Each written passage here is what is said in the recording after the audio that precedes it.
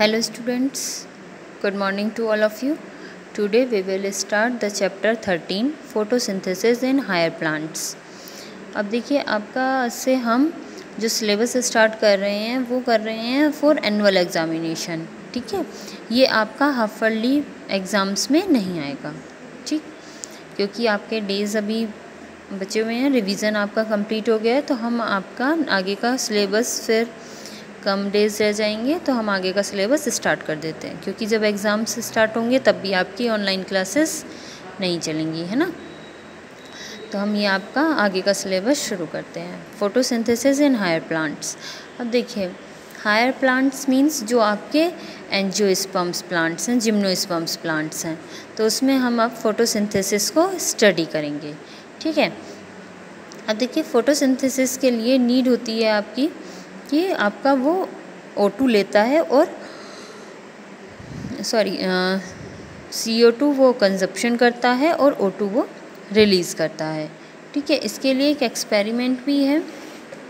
Early एक्सपे मतलब आपका Joseph प्रेस्टे जो है, इन्होंने 1770 में ये एक्सपेरिमेंट की सीरीज़ परफॉर्म की थी और उन्होंने ये बताया।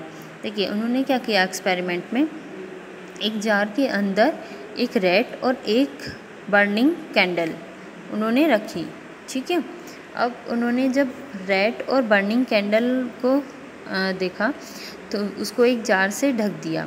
तो थोड़ी देर बाद वो क्या देखते हैं कि कैंडल भी बुझ गई है और रेड भी मर गया है।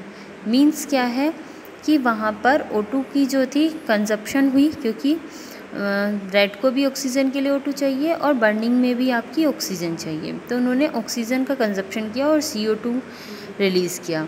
तो जार में जब आपका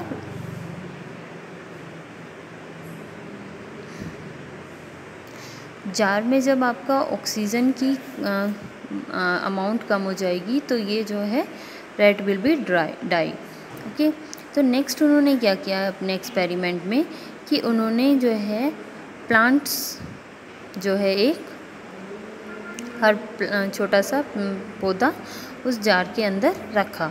ठीक है तो अब वो क्या देखते हैं कि उतने ही टाइम पीरियड बाद वो देखते हैं कि तीनों चीज़ें अलाइव हैं। क्योंकि प्लांट को क्या चाहिए? सी ओ टू जो उसको मिल रही है रेड और बर्निंग कैंडल से। और बर्निंग कैंडल और रेड को क्या चाहिए? ओ टू जो कि उसको प्लांट से मिल रहा है। ओके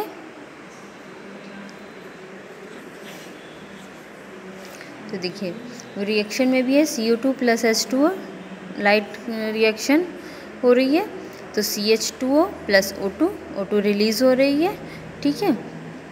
आपका देखिए two H two A plus C O two तो टू ए कंपाउंड बन गया C H two O plus water water release हो रहा है तो आपका six C O two plus twelve H two O equal to C six H twelve O six plus six H two O plus six C O two जो आपका glucose molecule बनेगा और आपका ऑक्सीजन मॉलिक्यूल्स और आपके water molecule बनेंगे। This is the photosynthetic reaction अब देखिए फोटोसिंथेसिस होती कहाँ है? फोटोसिंथेसिस लीव्स में होती है और लीव्स के कौन से पार्ट में होती है? क्लोरोप्लास्ट में, है ना?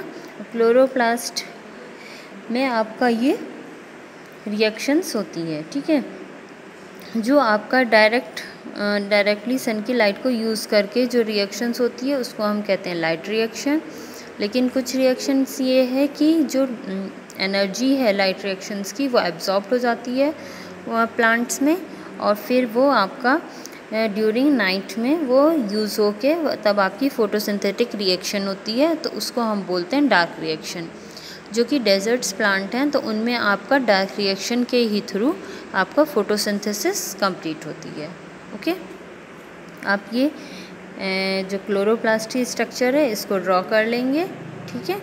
और आप इसका डायग्राम्स भी करेंगे, ठीक है? वो मैं जब नोट्स में भेजूँगी, तब आप चाहे तब ड्रॉ कर लें, या डायग्राम आप स्टार्टिंग में बनाना चाहते हैं तो स्टार्टिंग में देख लीजिए। काफ़ी सारे पिगमेंट्स हैं, जो कि आपके इन्वॉल्व करते हैं फ़ोटोसिंथेसिस में। क्योंकि क्लोरोप्लास्ट में भी आपके डिफरेंट्स क्लोरोफिल्स हैं, जैसे कि क्लोरोफिल ए है, जो कि ब्राइटली ब्लू ग्रीन कलर का होता है। क्लोरोफिल बी है, जो कि येलो ग्रीन कलर का जेंथोफिल जो येलो कलर का, और कैरेटेनॉइड्स जो yellow to yellow orange colour का, जो कि आप कैरेट में देखते हैं, ठीक है? तो कैरेटेनॉइड्स वहाँ पर प्रेजेंट होता है ओके अब देखिए, जो लाइट एब्जॉर्प्शंस की इनकी पावर है तो वो क्लोरोफिल ए की मैक्सिमम है, ठीक है? आप ये, जो ग्राफ है, इसमें आप देख लेंगे, ठीक है? क्लोरोफिल ए उसके बाद आपका क्लोरोफिल बी ठीक है? कैरेटोनॉइड्स तो ये आपका इस तरह से आपका डाउनवर्ड है। जो आपकी वेवलेंथ है रेट ऑफ़ फोटोसिंथेसिस का, वो भी आपका इफ़ेक्ट करता है। तो आपका देखिए स्पेक्ट्रम है, जो कि आपको पता भी है लाइट्स का स्पेक्ट्रम किसकी फॉर्म में है? बेबग्योर की फॉर्म में है। तो जैसे जैसे वेवलेंथ डाउन होती है, वैसी वैसी ही आपका जो एब्जॉर्प्शन पावर है, वो भी डाउन होता है। ठीक है? तो वो आपको पता ही है। ये अपने फिजिक्स में भी पढ़ा हुआ है। ठीक है? ओके? तो हम अब ये नेक्स्ट टॉपिक जो हैं आपके लाइट रिएक्शन और इलेक्ट्रॉन ट्रांसपोर्टेशन ये हम नेक्स्ट वीडियो में कंप्लीट करेंगे। ओके? Thank you